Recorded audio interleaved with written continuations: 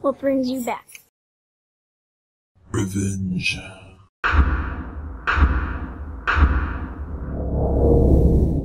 Hello and welcome back to ASM Network. We have a special product for you today. It's an antibacterial home remedy called the Green Aid. We have Joel out in the field going to test the same product. Joel? Hey Aaron, I am so pumped to be back on ASM. I know things didn't go over as smoothly as we would have liked last time, but I think it's going to make a turnaround this time. It's going to be a lot of fun. All right, buddy, let's get started.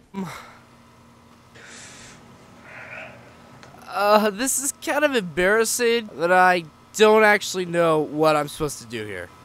Joel, Joel, Joel, Joel. It's very simple. All you gotta do is pull the pin. Aaron? Alright.